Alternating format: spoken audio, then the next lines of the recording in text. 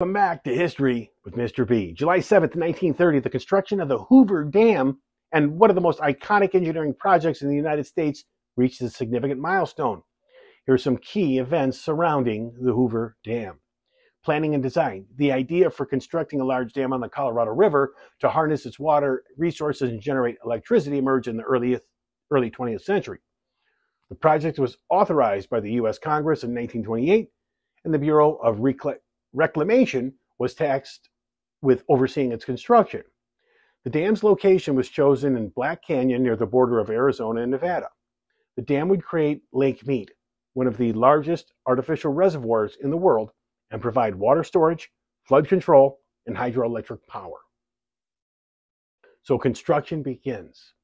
Excavation and construction work on the Hoover Dam began April 20, 1931, Thousands of workers, known as Hoover Dam workers or high scalers, labored under challenging conditions to build a massive structure.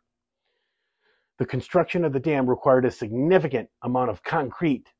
The pouring of the concrete started June 1933 and continued to May 1935.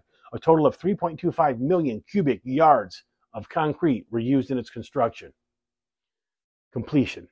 The Hoover Dam was completed on March 1, 1936, two years ahead of schedule. It stands as a testament to engineering, ingenuity, and serves as a critical infrastructure project even today. And the dedication, the dam was officially dedicated by President Franklin D. Roosevelt on September 30th. Hey, that's my birthday. 1935. The dedication ceremony was attended by thousands of people and marked a significant moment in American history. Hoover Dam had a transformative impact on the region. It provided a reliable water supply for irrigation helped control flooding along the Colorado River, and generated hydroelectric power.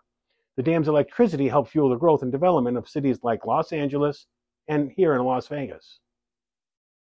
One more time, it's History with Mr. Bee. Thanks for stopping in, and I'll see you folks tomorrow.